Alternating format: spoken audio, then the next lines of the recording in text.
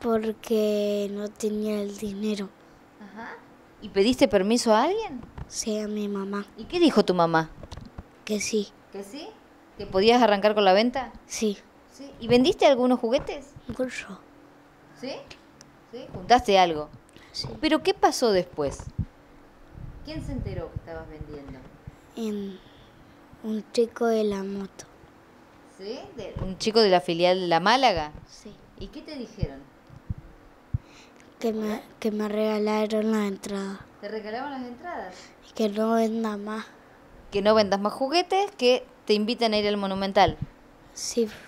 ¿Y, y cómo, ¿Y qué sentiste vos en ese momento? Alegría. ¿Alegría? ¿Estás contento? Sí. ¿Sabés cuándo vas a viajar? Sí. ¿Cuándo?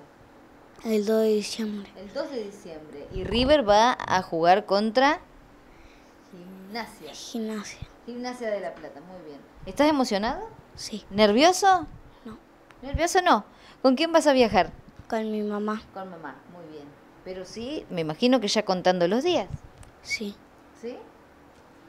¿Y qué pensás de ese momento cuando llegues al Monumental?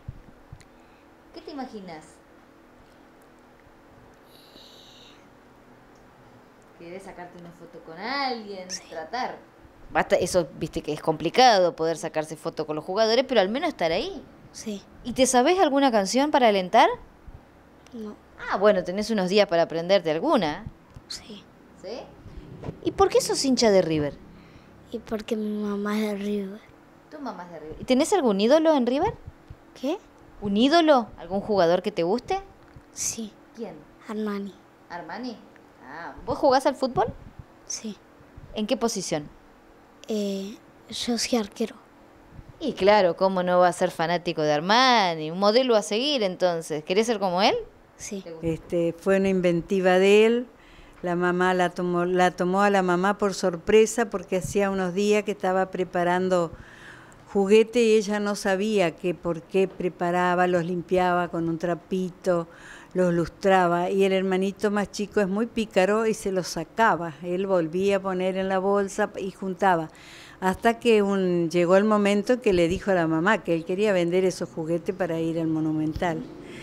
Y bueno, la mamá no, no, no le dijo que no, lo apoyó en, en su iniciativa y, y bueno, este, le, lo ayudó a poner la mesita en la esquina, fue la venta, eh, una mesita y él ponía los precios. Y la, la gente empezó a pasar y miraba el, el cartel que había puesto, él llamaba la atención, que decía, mm, este, vendo juguetes para poder ir al Monumental.